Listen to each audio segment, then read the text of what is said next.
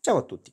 Siamo così arrivati verso la fine del 2016. Quindi, dopo aver utilizzato dal 97 per 5 anni un Fiat Coupé di Pininfarina, disegnato da Bungle, poi per due anni il BMW 328 CI E46, disegnato da Bungle, e poi per un altro anno e mezzo un Fiat Coupé Turbo 20 valvole, disegnato da Bungle, ho detto quasi quasi, che lavorava in Pininfarina, quasi quasi compro ancora una macchina di Pininfarina.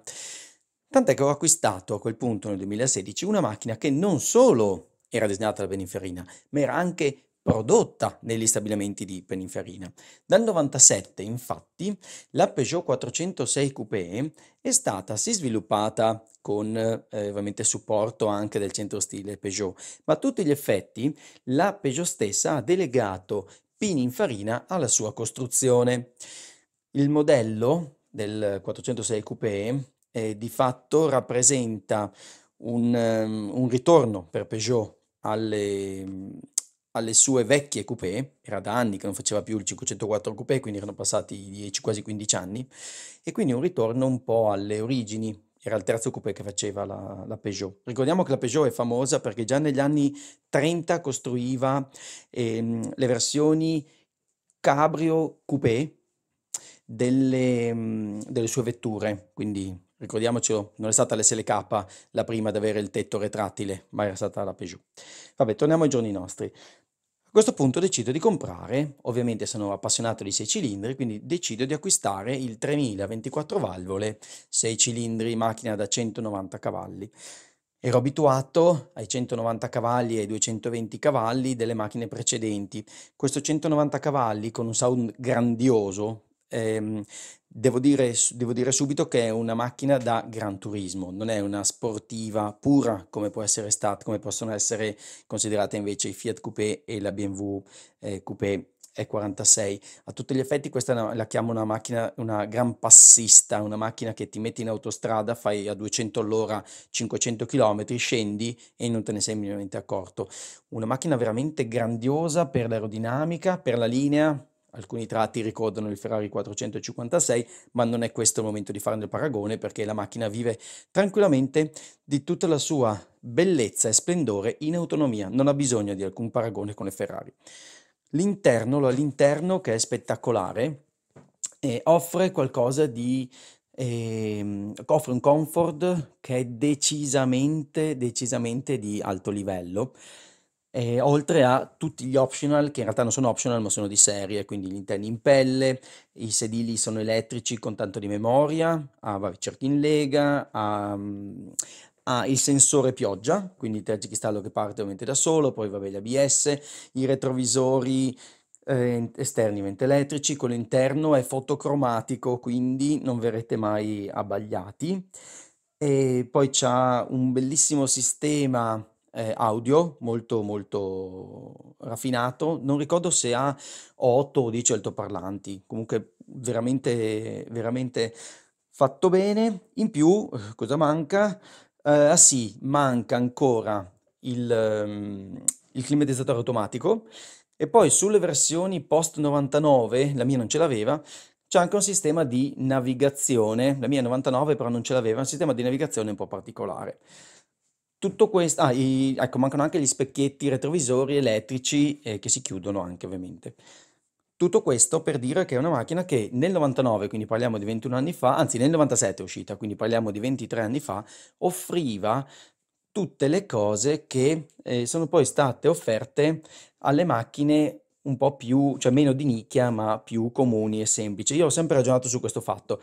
Se si acquista una macchina che era che è stata top di gamma, all'interno di questa vettura si trovano sempre componenti e optional, insomma servizi, che poi vengono distribuiti qualche anno dopo alla, diciamo, grande massa, quindi alle vetture più piccole tipo le utilitarie. È sempre bene poi acquistare, come mia teoria, un top di gamma, perché normalmente chi lo acquista è una persona che non ha problemi di denari e quindi normalmente fa la manutenzione necessaria a queste vetture. Spesso, infatti, è più facile avere problemi con macchine più ehm, utilitarie, più di, diciamo, low cost, perché chi le utilizza ci investe meno soldi e quindi normalmente ha anche meno denari per eh, mantenere la macchina in perfetta, eh, in perfetta funzionalità. Questa è una mia teoria, ma al momento ha sempre funzionato.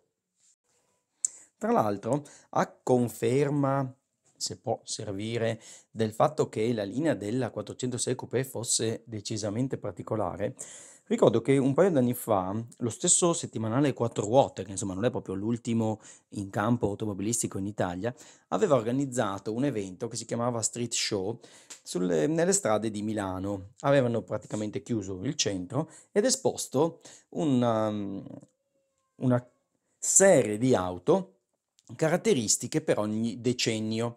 Bene, sappiate che ai primi due posti sono arrivati una Ferrari e una Porsche, 911, 964 e Ferrari 355, ma al terzo posto è arrivata proprio la Peugeot 406 24 valvole 3000, casualmente eh, fotografata in questo video.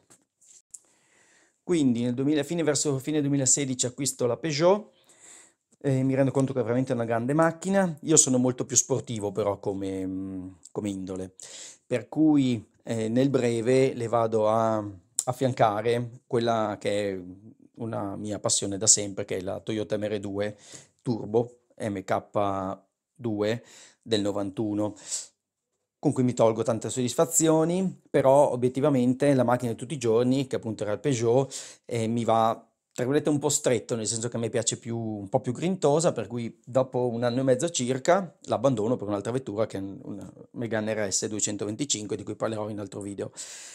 Però per fortuna, siccome le mie macchine eh, sempre mol- faccio sempre molta fatica ad abbandonarle perché le, le coccolo, le adoro, le voglio bene, insomma, eh, per fortuna trovo un grande appassionato a volerla acquistare che è nell'ambito Peugeot da, da sempre praticamente e quindi lo ringrazio vivamente, eh, grazie Bruno di averla presa e di accudirla tutti i giorni.